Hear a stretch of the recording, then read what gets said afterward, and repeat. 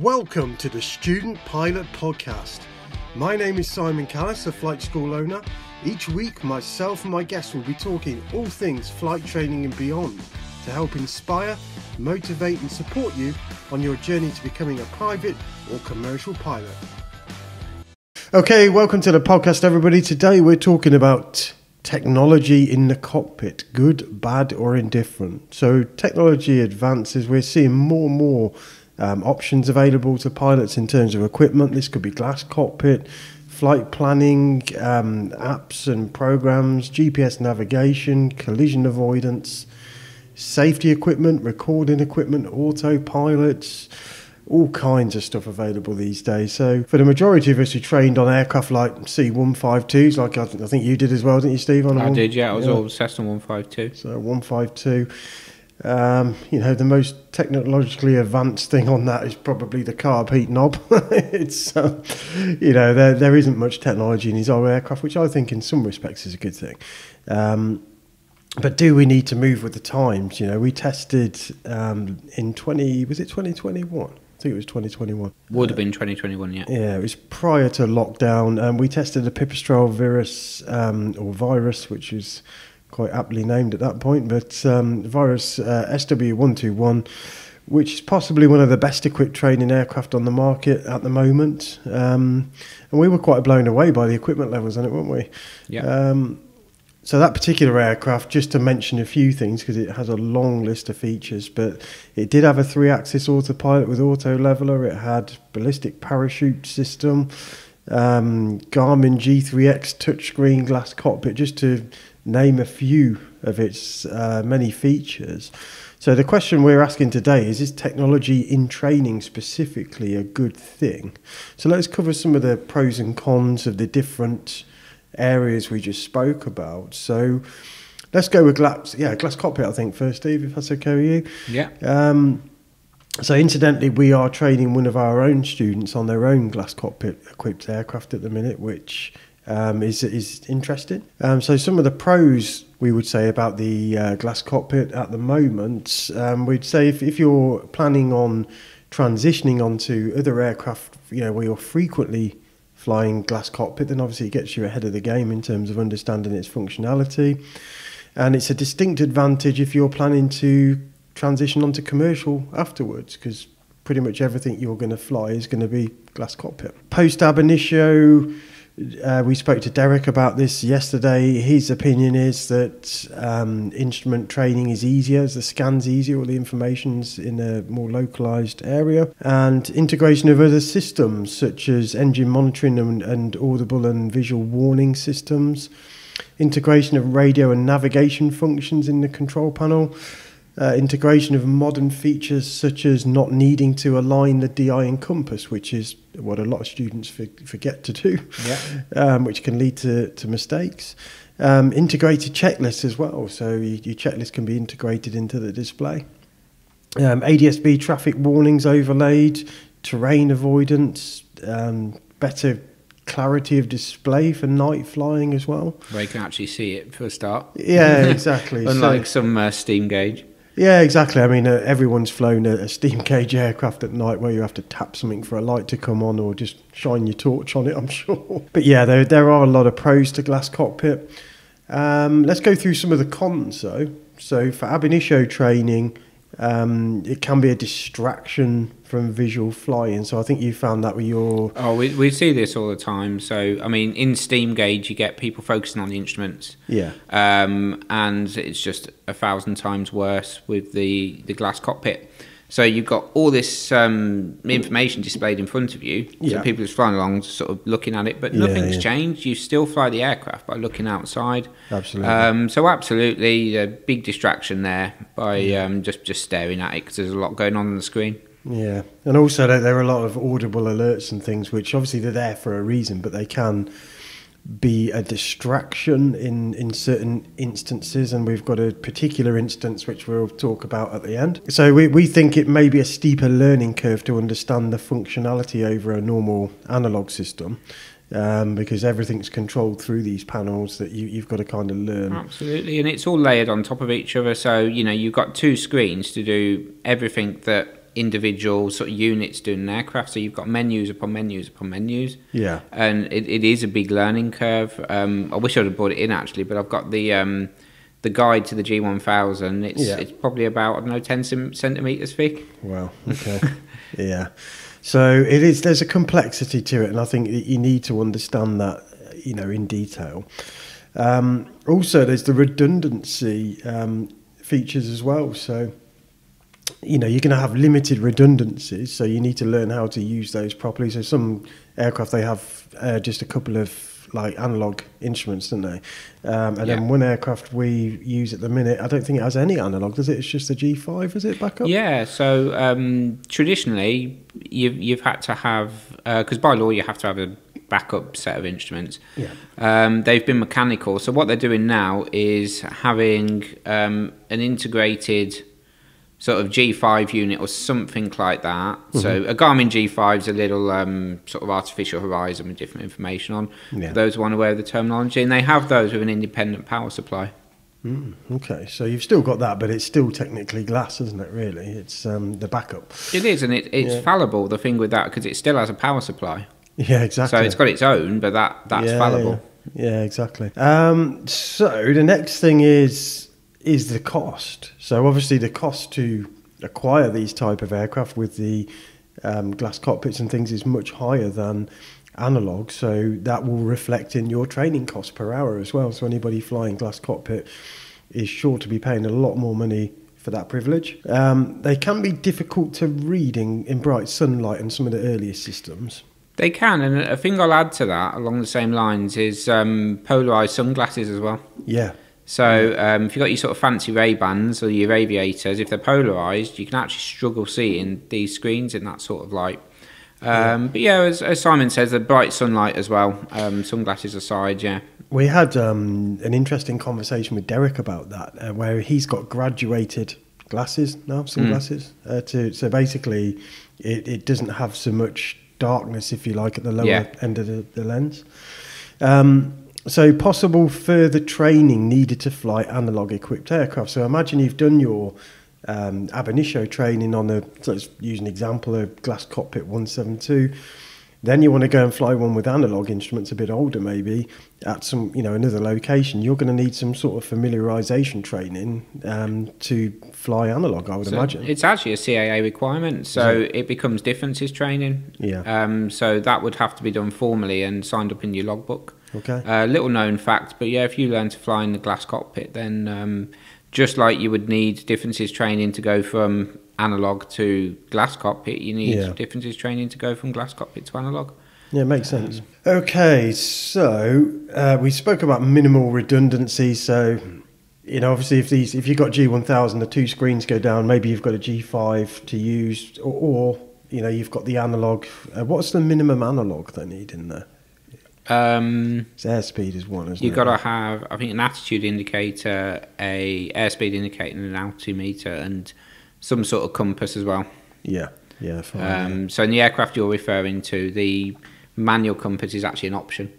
So the Right. backup for that, as designed, would have been on the G5 as well. Um, so yeah, I think there's definitely more to go wrong in terms of your understanding of how to use it in the air, and more to go wrong in terms of failures. Uh, I think generally glass is quite reliable. I know a lot of people are moving from analog instruments to G5, for example, because they tend to be more reliable than the gyroscopic instruments. But if you're totally reliant on glass, I think you could be in for trouble at some point. Yeah, I mean they, they are complicated. I mean I myself have had a few situations where um, the, you know there's there's sort of warnings that have come up. Yeah. I'm just trying to think what it was. Some sort of acronym Yeah. um, has come up. No idea what it is. It could be important. It might not be. Um, so you have to get it investigated. That's time. Um, read the book. But a, another interesting one to do with the complexity um, is that me and Derek, who are teaching the student in his uh, own aircraft, which has got a G1000, we had um, a couple of instances, both of us, where we're just flying along, and then all of a sudden, the autopilot engages and it starts flying itself Right. um, for you know no reason we could work out. Anyway, Uh, we we found out that it was actually a safety system. So I think it was APS, Advanced Protection System, right. that was actually an option on the aircraft. Um, we didn't know it had it. Mm. Um, and that's what it was doing. So it was sort of detecting high angle of attack, which happens in a training situation if you're doing stalling or something. Yeah. And thought it was helping by taking over. Wow. But it just goes to highlight you've got all these features. Yeah, yeah. And both me and Derek have done a lot of reading on this aircraft. Yeah. Um, Still not aware. and yeah, and we still Yeah. weren't aware of it because it was an option. So it wasn't in the sort of base documentation. And I think that's the danger with aircraft, isn't it? Because you've got so many systems that are not they're not necessarily designed to work in unison completely. You know that you have to know every single system on the aircraft and what its redundancies are and what it does in a failure situation. You know, It's, uh, As you can imagine, I mean, this was quite alarming. We're flying along, sort of teaching, and all of a sudden it goes autopilot, engaged, and Yeah. then starts flying itself. yeah, yeah. So let's move away because this is only supposed to be a, a quick, you know, brief thing. We may actually go into a bit more detail on, on the glass cockpit element of it in, in the aviator show, uh, perhaps, and we'll go and have a look at this aircraft and, and show people what it's about. But let's look at the next one. So we covered glass cockpit. The next one we were talking about was the advancement in flight planning software and GPS. So I know that when I first started to learn to fly, um, GPS was there. I think so, certainly like 430, Garmin 430 was there. Not in the 152s at that point. Um, but apps and, and things like SkyDemon, they didn't exist. And I remember coming back to, to flight training after a long break, and everyone was talking about SkyDemon. I'm like, what the hell are you going on about? And then when I saw it, I was like, oh my God, this is great. You know, it makes everything so much easier.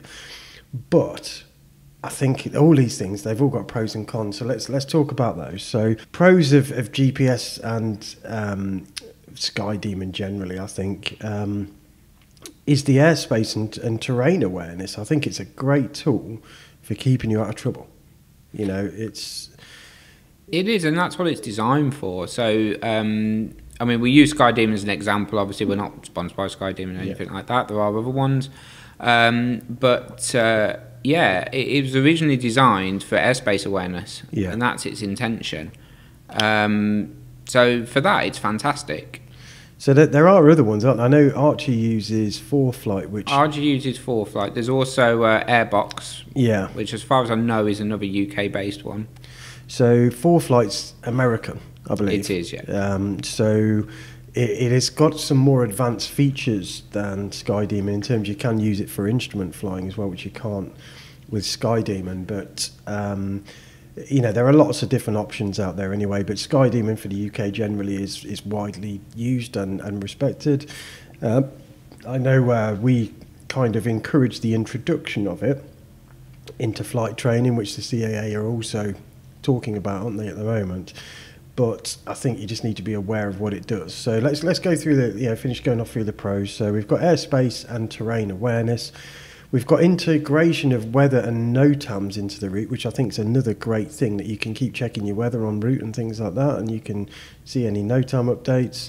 Um, you can add additional things to it for collision avoidance as an add-on. Um, it's a separate unit that, that communicates and displays on SkyDemon, which is called SkyEcho, uh, which does ADSB and FLARM for gliders as well. So that I think is a great add-on. You know, if you imagine you're going into your 1972, whatever it is, 152 with, you know, just basic equipment, a radio and a Mode S transponder. Now you've got GPS, you've got ADSB, you've got FLARM, everything, um, all in one place. And the CAA did a rebate on that.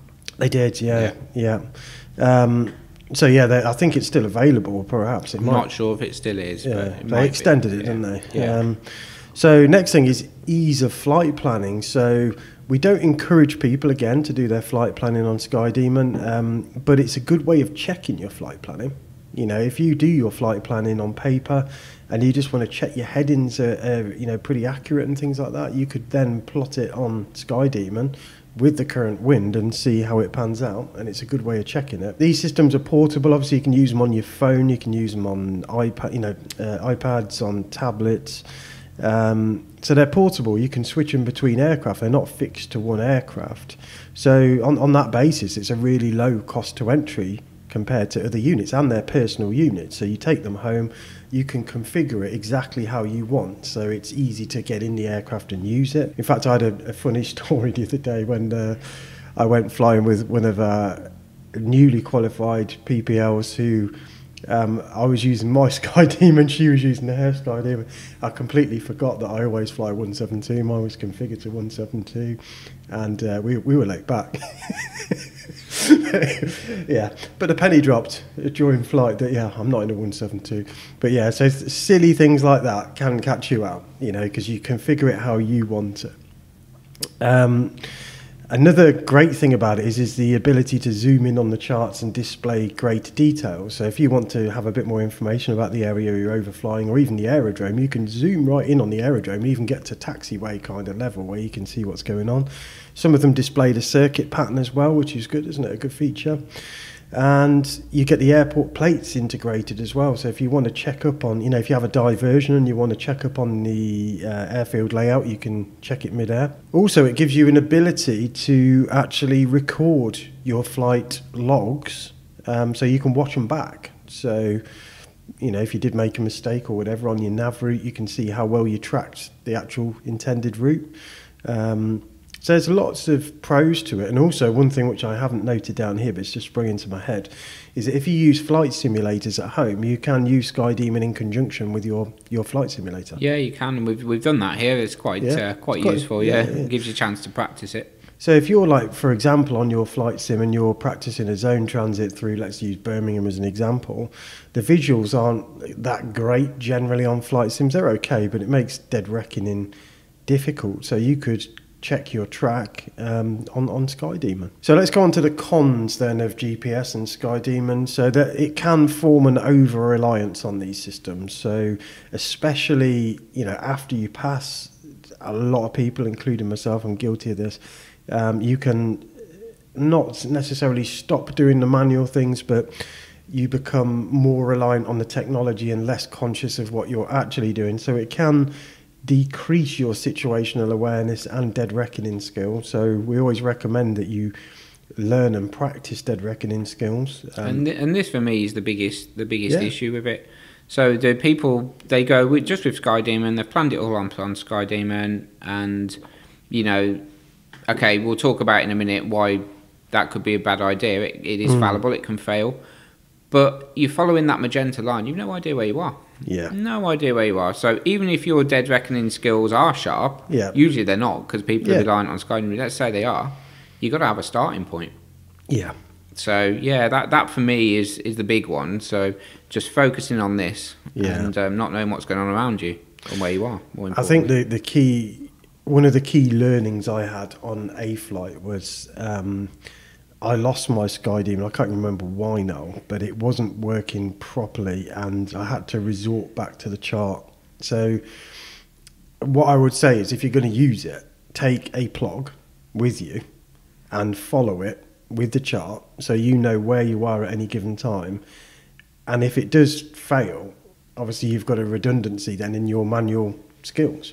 Um, but for training purposes, obviously we don't recommend using it it's there as a backup. Yeah, and, and even after training, I'll go a step further and say that it's just a supplement to dead reckoning. Absolutely. Dead reckoning needs to be primary. Yeah. Um, that one's just there to, to supplement it and you know help you find your position and as we said before, the airspace awareness. Yeah, I mean actually, the, the, raw skills are really important because these, yeah. you know, failure rates are high on these devices. So you've got to think you've got a cheap, you could be a cheap Chinese tablet, for example, or an iPad, whatever.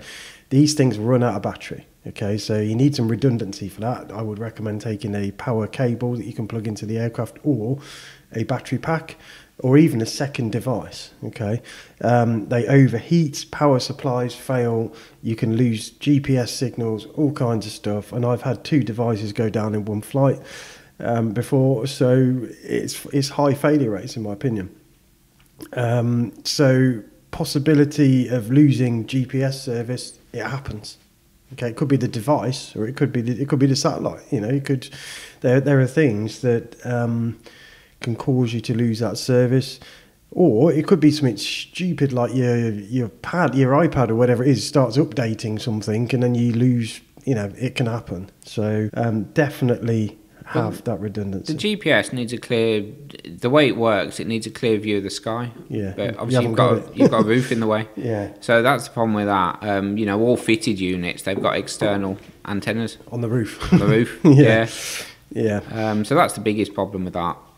And then we've got inaccuracy of data. So, uh, well, this goes back to my example a minute ago where I was flying as a passenger in a 152 um, with my iPad working. Um, configured for 172 because I'd completely forgotten I'd configured it for that aircraft which I always use. I mean, obviously that person's doing the navigating anyway, so it's not an issue. But for a second, I was thinking we're not quite where we should be. So inaccuracy of data, and also they, they have a lot of generic um, aircraft settings in there, don't they? So Yeah. you, you want to kind of check those against the POH of your aircraft to make sure it fits because you don't want to be simulating an aircraft that isn't the same as yours. You know, there are lots of different types of Cessna 152, for example.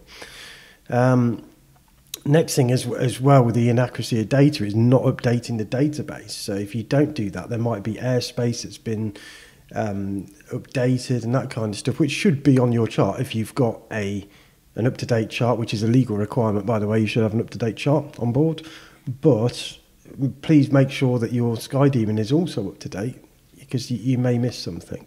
So next thing is um, in the cons is the mounting systems for these um, these devices. So um, a lot of these devices are on sucker mounts or you can get yoke mounts for things. Now all of these are non-standard mounting systems. So if you sucker it onto the window, you might be limiting your visibility somewhat.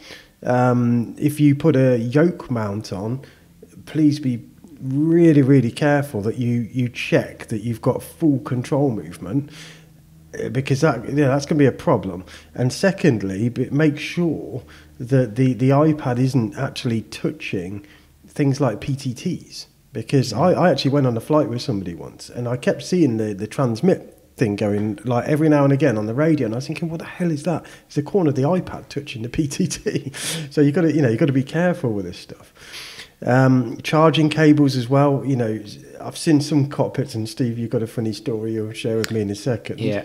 but I've seen some cockpits, it's like a maze of wires. People have got wires coming out their GoPros, wires coming out their iPads, wires going into this. They've got phones on charge, all kinds of stuff. It's just creating a bloody cable hazard. Um, and then the, the last thing before Steve tells us his uh, cons of, of SkyDemon and, and iPads and things um, is if you use SkyEcho, which is the device you can get uh, for ADSB and FLARM, which overlays on your SkyDemon, it is a separate device, okay, and you, you have to have something like SkyDemon for it to overlay on. So, Steve, please tell me your funny iPad story. So years and years ago, um, I was going to check out a PPL holder. I think it was his um, biannual flight with an instructor. Um, and we're in a 152, um, one that was just a standard 152, not particularly well equipped. Um, so I sent him out to check the aircraft, and he goes, "Do you mind if I put my um, put my iPad in or put my equipment in?" I think he said. And I was just, you know, thinking, "Oh, he's got a little iPad with him or something," which is not uncommon. Yeah, yeah, that's fine. So anyway, a few minutes later, I go out to the aircraft, and it, it was like the Starship Enterprise. so went in there, there were screens everywhere. There was no less than seven tablets in there. Seven? Seven tablets, just everywhere. they're mounted to both yokes. They're mounted to like. There's a couple on the screen everywhere. Like, mounted to the panel. I said, "Why- "Why have you got all this?" And he says, "Well, I can't fly without it." I said, "What do you mean you can't fly without it?" And he goes, "Oh, I don't know where I am." I was like, "Well, one, we need to address that immediately, and two, why do you need seven? I was like, oh, oh if one breaks. I was like, well, what was okay. on these seven iPads? Did Oh, there was all sorts. Did So you we have had Netflix on Sky something? Demon, and yeah, I, I don't know if I'm honest. I ripped them all down. I'm not ah, flying around with Most that. people don't even own seven iPads, let alone have them to put in an aircraft. But, No. yeah. but interesting anyway. So ne- next thing is, so we'll move on from um, SkyDemon and GPS. Obviously, we've we haven't really gone into GPS systems in aircraft because they, you know, some people have retrofitted ones. It could be anything from, you know, like your Garmin 430s up to your G1000s and all that, and you know G3X and all and the Garmin aeras as well. yeah, Garmin. So Garmin, interestingly, they do a mobile it's almost as good as an integrated system, isn't it? Oh, it's, they're really good. Yeah, it's it's amazing. It's got like synthetic vision, everything. It's great, um, but they are. God, I think they're about eight hundred quid, seven, eight hundred quid. Well, they're certified, so yeah. They are certified, yeah. So that's the difference. It is certified. Um, so you can get those as well, but generally as an entry level system, SkyDemon kind of does it, doesn't it? It's um, so let's move on to safety equipment then. So we're going to go back on to SkyEcho. So again, that is, you know, we've mentioned it earlier on, but it is really, really good um, in terms of, uh, and it's getting better as well um, in terms of collision avoidance. So it gives you information. Um, ADSB information um, about aircraft that are, are transmitting and uh, positions those aircraft with um, how, how, much information does it display? Because you've you've used it, haven't you? With yeah, I've used it. Difficult to answer because it depends. Yeah. Um, so it, it's only as good as the information it's getting. Yeah. yeah. So a lot of there's a lot of aircraft flying around out there without any sort of ADSB, um, and tra- you know transponders and things yeah. like that. So. It, yeah, it is only as good as the information it gets. Okay. Um, so there's a lot out there. I haven't got the equipment it can pick up. But with Flarm, I guess it's good. Gliders are terrible to see. So yeah, but again, as far as I know, not all of them don't. So yeah. I'm not a glider pilot, but as far as I know, not all of them carry Flarm. But yeah, it's yeah. better, certainly better than nothing. I think so, and I think I think at some point ADSB will be mandated on it. It's got to be. Oh it's, yeah, yeah, it's got to be. So next thing, which I think is a real uh, decent advancement in safety, anyway, is the ballistic parachute systems, the BRS system. So I'm not sure whether they pioneered it or whether they were even the first to use it, but I think it it became noticeable on the Cirrus SR20 and 22s, wasn't it? Is yeah. that they were the people who were first kind of using it. And now it seems to be that all of the new ultralights, the Eurofox, the Pipistrels and things, they all seem to be having it as an option or, or fitted. Quick scholarship update. So last year we gave away one place to our candidate at Sywell, Leo, and this year we're planning to do the same. We're planning to give away at least one place. If you want to be considered for a scholarship place, you need to register your interest via our website, almat.co.uk. You'll be updated as to all of the upcoming events to do the scholarship.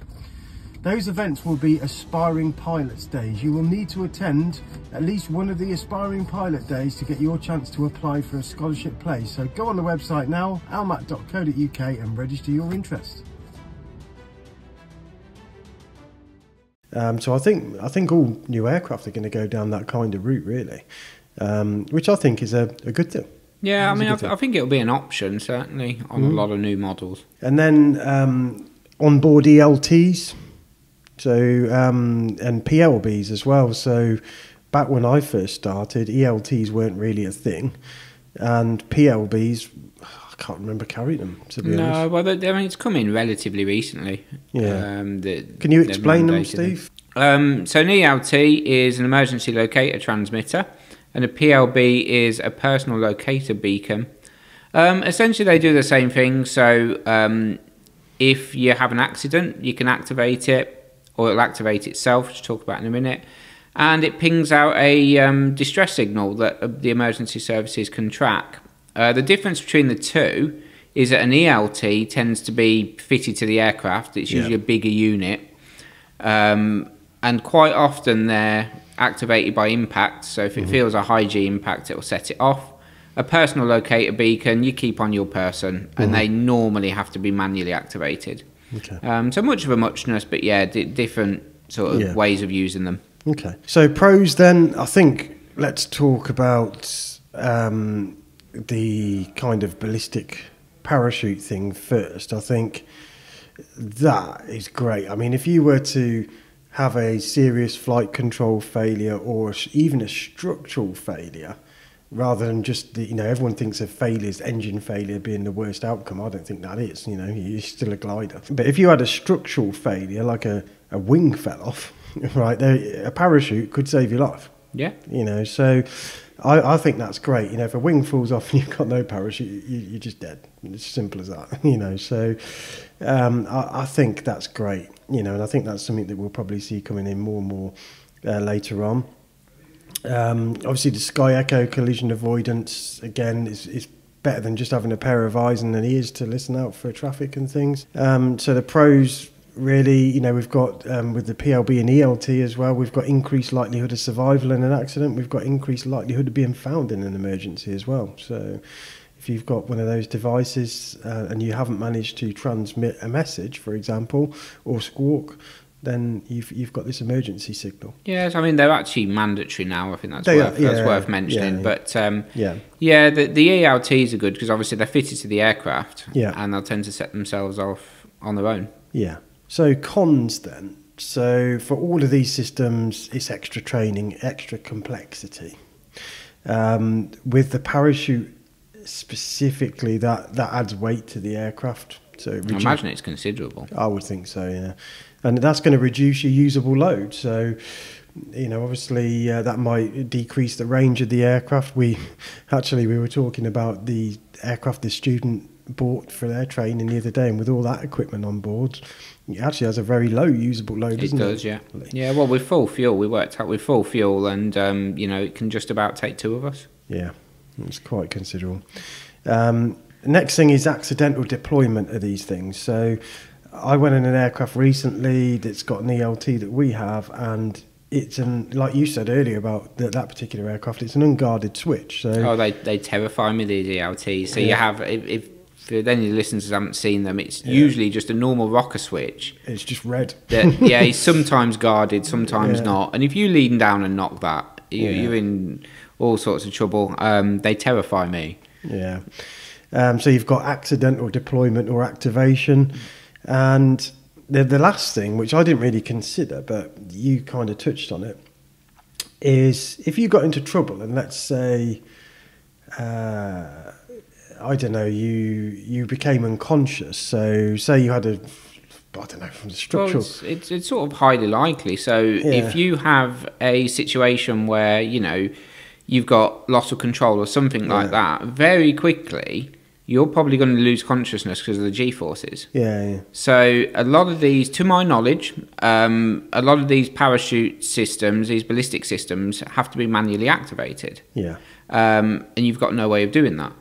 So that that was a big one I thought of because in that sort of situation where you'd need it, which really is going to be a loss of control situation, mm. You're either going to be unconscious because of the G or pinned down. So, yeah. for example, the Cirrus, I know that it's on the roof. Yeah, you might not be able to, to activate it. You might not be able to reach that. Yeah. Um, so I wonder if they have any kind of G triggering where if it reaches an acceptable level of G, it might. I don't know. Um, I'm not aware that it does, but I, I don't know. So that that would be interesting to find out. Hmm. Um, another thing I'd add about uh, about those, we sort of said about accidental deployment and weight, is the fact that um, these ballistic systems, you're literally sat on solid rocket fuel when you're on the ground. Yeah, yeah that's um, true. So yeah, that's that's an interesting thought.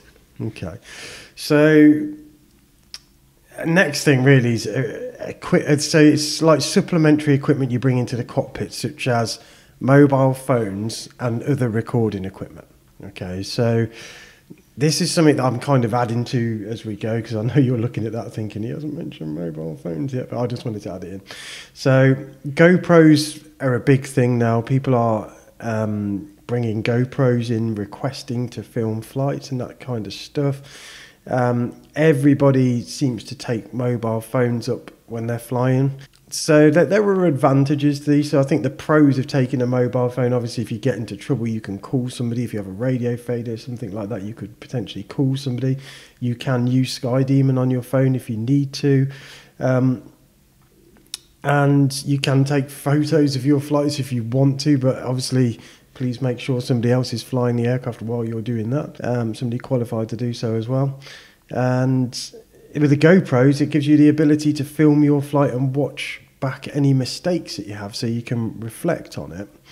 Um, but there are some significant cons to these things, in my opinion. So, first thing is they can be a huge distraction in flight. You know, if you're if you haven't put your phone on um, aeroplane mode, for example, and you're a busy type of person who gets a lot of phone calls, a lot of messages, you can have all these notifications pinging off, which can interfere with the radio as well.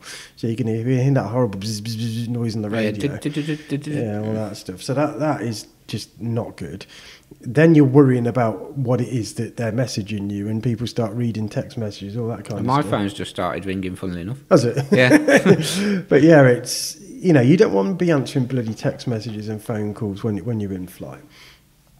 Uh, the cameras can be a distraction as well. Um, and, and then you've got the mountings of these things. So you want a phone mount in there, you want a camera mount. These things are not um, certified mounts. You know, a lot of them are just stuck on with sticky pads or sucker mounts. These things can come off. In fact, I had, it's a true story, I had um, an incident when I was recording a flight. I was with a, an instructor and I came in on left base for Coventry, and my GoPro fell off and ended up in my footwell. So, you know, I asked that instructor to take control of the aircraft where I fish around with my feet to get this camera and pull it up back to, to get it out the way. Yeah, imagine that on your own. Yeah, yeah, exactly. Yeah. yeah, exactly that. You know, imagine that on your own, and then worst case, it gets kind of stuck in the pedals or something like that. It's just mm. it's just a recipe for disaster. So, so yeah, make sure they're securely mounted, preferably somewhere where they're not going to interfere with any controls if they do fall off. And then there's the, the whole thing about cables in the cockpit. You know, I've seen people that are setting up their aircraft, you know, and including flights I've done, to be fair, where you've got several cameras in there, you've got iPads, all that kind of stuff. You've got stuff on charge, you've got cables everywhere. It's just, it literally is, a can, you know, could be a recipe. It also adds considerable amounts of preparation time. So if you're on a lesson, for example, and you're wanting to record your flight lesson, don't turn up for your normal slot to get briefed because that's that's for your lesson. That is to teach you how to fly. So if you want to record all this stuff, you need to allow extra time to go and set up the aircraft to do that so that you can focus primarily on what you're supposed to be doing. You know, recording second, it doesn't matter. If that doesn't work out, it's tough, you know. Mm. Um, so we get people obsessed with these cameras and things, and it just becomes a distraction. You don't want to be flying along thinking, "Oh, I need to check my camera. Is the camera working? Is the camera working?" You know, quite honestly, I don't give a that your camera stops working, right? The, you know, the, the flight safety is the primary thing, okay? Um, and worst case, let's say that you did something, it could be good or bad, you could consider this a pro or a con. If you've got something on camera and you're a qualified pilot and you go and, you know, bust airspace, whatever you do, whatever the problem is, you've got it on camera and it might be used as evidence um, or that could help you you know, if, if you had an incident and it wasn't your fault, that might go positively in your favour. But you just have to be aware it could be used against you or to assist you. So these are just a few considerations when you're thinking about bringing technology into the cockpit. I think generally um, the advancement in technology is moving in the right direction. Um, certainly, some of these safety features are just, you know, they they they're just great. You know, parachute things like that. I just think it's a good idea.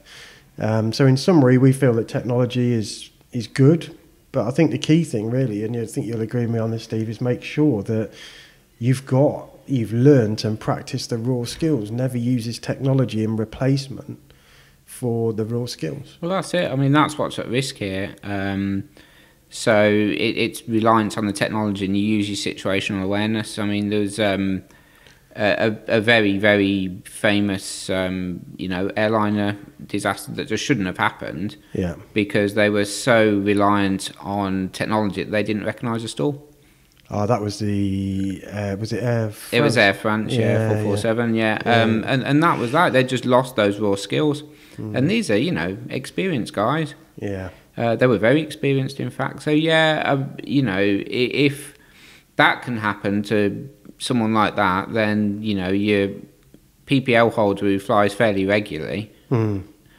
Um, you know, it, it, can easily happen. So yeah, practice your raw skills, and I'd say go with an instructor every yeah. now and again. Um, you know, and just have them sit there, not necessarily instructing you. Yeah. You know, and just making sure you've still got those skills. Yeah, absolutely. So I think the key thing is like if you're going to use SkyDemon as a specific example, is like we said before, plan it manually, check it with SkyDemon. Take a, if you're going to use the SkyDemon PLOG, which is fine to use, bring it in the aircraft with you so you've got a paper PLOG because that means then if your battery runs out it overheats or whatever you can still pick up the chart which you took because it's a legal requirement which you've then drawn your route onto because you should because it's good practice. And you can go back to your chart and say well i'm here because i know my last position um, and i can just follow this PLOG as i would do normally anyway. You know don't use it as a primary means of navigation. Um, next thing is make sure you understand how to operate any technology that you bring into the cockpit on the ground thoroughly. Yeah, and you can't stress this one enough. You know, if you can't use it, it gets um, pretty stressful. I mean, I, I had when I was doing my PPL, I yeah. bought a fancy new stopwatch, just a stopwatch. Um, had a few functions on it, and yeah, on a solo, I got lost because of that. Did you? I was concentrating that. There's a stopwatch, so you imagine you know something more complicated than that. I'm laughing, but it's happened to me as well. I didn't get lost because of it, but I got quite stressed because of a stopwatch once. Yeah. it's easily done. And that was the same thing. It looked great, but then I kept pressing the wrong button and it was re, you know, it wasn't restarting. And then I was getting past my waypoint and I was getting stressed. And it just happens, doesn't it? But you imagine something with a lot more features on, like even yeah, SkyDemon or something yeah, like that, you know. Yeah. It is, and and and anything also. If you're flying an aircraft that's got equipment fitted, and you don't know how to use it, get somebody to show you how to use it on the ground thoroughly. You know, it's like we've got that 172 at um, Sywell, and people are saying, "Oh, it's got autopilot." I don't need to know how to use that because I'm not going to use it. Well, what happens if it comes on by accident? Mm. You know, how do you turn it off for a start? Um, you know, all these things you need to understand. If it's fitted, know how to use it, and know what the redundancy is and what the failures are. Yes, I mean, from an examiner point of view, you need to know how to operate everything on the aircraft, really. Yeah. Yeah. And I think that's where the um, we're saying about bringing technology and we're saying about the steeper learning curve. If you go and learn on an aircraft with autopilot, like the Pipistrel, it's got autopilot, it's got G3X, it's got negative flap, it's got air brakes, it's got all kinds of stuff on it. You need to know how to use every single one of those things so that A, you can use it correctly, operate it correctly, but B, if it goes wrong, you know what it's doing. Yeah. So, so there's your steeper learning curve straight away. If you get into a 152, there's far less to know about because it's just a simpler aircraft. Um, so we're still a believer that sim- simple is better, but technology certainly know, for learning. Yeah. Just to wrap it up, um, yeah, technology is great, providing you know how to, to use it, um, and just get some guidance with it. But I think um, it would be funny actually just to share a couple of our stories about technology in the cockpit and how it could be potentially a distraction. So I don't know whether you want to go first, Steve. Yeah, so I was, um, yeah, a little while ago ferrying a um, a G1000 equipped aircraft. Yeah. Um, you know, and it got uh, all sorts of technology in it, and. Uh, you know, flying along my own business, I programmed it all up and it was just following the route on what we call LNAV mode, lateral navigation, so it's following it. Um, and I'm just sitting there monitoring it and then all of a sudden, an aircraft just shoots underneath me, really quite close. Yeah. And I was really annoyed myself because I felt I just got complacent. Yeah. You know, I, will yeah. be honest, I wasn't looking out. It had ACAS in it, um, so traffic um, airborne collision avoidance system. Um, and for whatever reason, that aircraft didn't come up on it. Presumably, right. didn't have his transponder on. And yeah, I was just really annoyed with myself because you know I was sitting there being being quite complacent, really. Mm. So that was a big learning curve for me. Yeah, I, I had, uh, this is a very basic thing, but it goes back to the mobile phone thing and about how they can be um, a distraction in flight. And this was when I was a solo student. Um, and I took my mobile phone because I wanted to take pictures uh, to show everybody, oh, I'm out flying, da da da, stick it on Instagram like everybody does. And um, anyway, my phone, after about a couple of photos, ran out of memory. And I'm sat there thinking, oh, I've just got to fly this straight line for a bit. So I'm sat there deleting photos oh, to, to make room to, to put more photos on. So I am looking at where I'm going, but my actual awareness of where I'm going for a few minutes, right, was completely distracted by the fact that all I could think about was getting rid of some photos so I could say to everybody on Instagram, look what I did today. Um, and I know that that stuff happens other you know to other people and just me say please please please if you take this stuff in the cockpit right just remember you've still got a job to do right yeah. you've still got to fly this aeroplane that becomes the primary job above anything right and that's why if you're going to take this stuff just put it on aeroplane mode do what you're going to do throw it in the back whatever But you know, don't don't do that. So yeah, I think we'll wrap it up. I think that was an interesting chat anyway, and it just gives you a brief idea of you know the pros and cons to some of the technology you can bring in the cockpit or stuff that's already fitted to the aircraft. And please, you know, embrace technology, but just make sure you know how to use it. So thanks for listening, and please like and subscribe to the channel. And uh, yeah, we'll see you on the next episode. If you like this episode, please like, subscribe, and ding the bell to receive notifications of the next episode.